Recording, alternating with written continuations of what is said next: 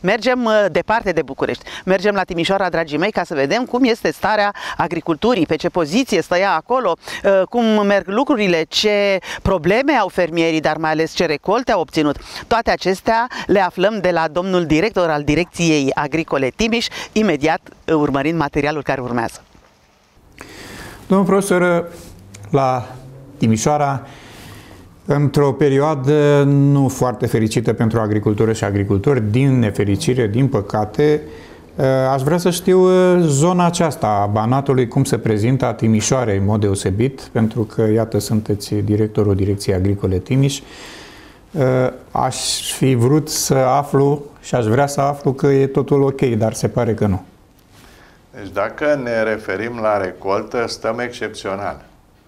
Am, avem locul întâi la păioase, avem peste 6 tone media la grâu, un grâu de calitate superioară și s-ar părea, Ministerul Agriculturii n-a transmis încă evaluarea pe țară, al câtelea loc uh, ocupăm. Eu cred și sper să fim printre primele 3-4.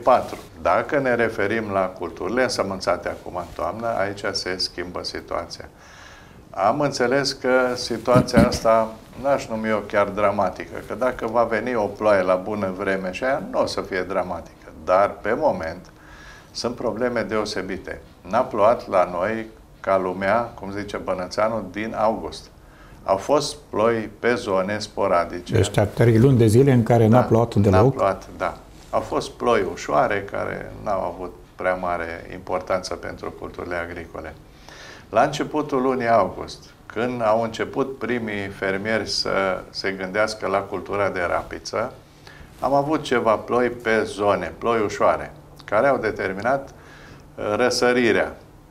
Și ca atare avem trei feluri de rapiță. Avem 20 și ceva de mii de hectare însămânțate cu rapiță. Este rapiță care arată bine, dar Probabil cea însămânțată mai devreme și care a prins ceva umiditate, da? Este rapiță care arată uh, excepțional, dar e prea mare pentru perioada aceasta și dacă vine un îngheț, cu siguranță se vor duce și rapiță nerăsărită. Deci numai rotocoale. Cum stați cu ogoarele acum? Că iar și o problemă din cauza lipsei precipitațiilor se ară, cel puțin în uh, partea de sud-est a țării, foarte greu sau imposibil de arat. Uh, cum se stă la Timiș? Se stă bine, să știți. După porum s-a pregătit bine. Noi avem prea puține terenuri grele. Uh, sunt, avem tehnologie performantă, să știți, cred că și în țară și sunt convins că în toată țara, dar în Timiș, mai ales fermierii mijlocii și fermierii mari, care nu sunt puțini, da, Uh, au tehnologie de vârf și uh, scarifică. Chiar am discutat cu unul din foștii mei uh, studenți și mi-a spus, domnule, am scarificat, după aceea sunt cultivatoarele acestea performante, sunt tractoare performante și mobilizează da, dintr-o superficial? trecere Sigur. mobilizează. Numai că este riscul și ei să abțin să, să facă această pregătire a terenului. Pentru că sunt două variante. Pregătesc terenul în condiții grele, cu consum ceva mai mare de carburant. Da. Dar să însămânțeze cu grâu este riscul să însămânțeze cam degeaba. Să pregătească terenul și să lasă pregătit pentru primăvară este un alt fel de risc. Dacă, de exemplu, la primăvară o să avem două luni de ploi cumplite, și nu o să poată să iasă să semene floare sau porumb la timp.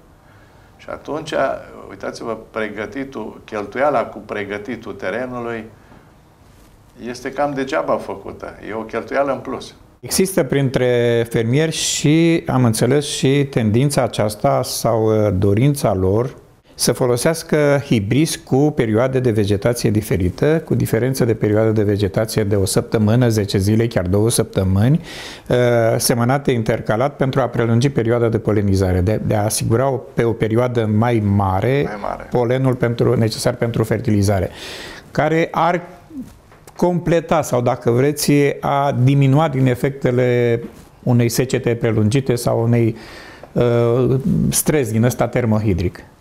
Da, este, este o treabă nemaipomenită, numai că la nivel de acumulare de cunoștințe în genul acesta al geneticii, că e cu sigur, bătaie sigur. spre genetică. Uh, totuși, fermierii noștri nu au uh, prea bogate noțiuni în sensul acesta și nici nu s-au gândit vreodată că o să fie nevoie de așa ceva. Și este tentația asta, că dacă vrezi, vezi la, la o întrunire din aceasta, domne, hibridul cu tare are o capacitate de 12 tone, 13 tone, nu știu cât, ăla alt are până la 7 tone. Pe care ți-l alegi?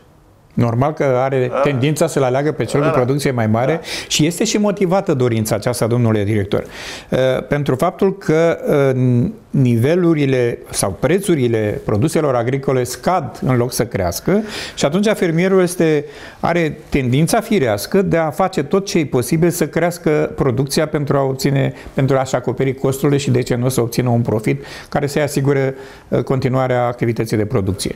Și atunci, sigur că își alege ceva care produce mai mult pentru a obține acest profit. Să aibă profit cât mai mare. Domnul director, ce suprafață are județul Arabilă?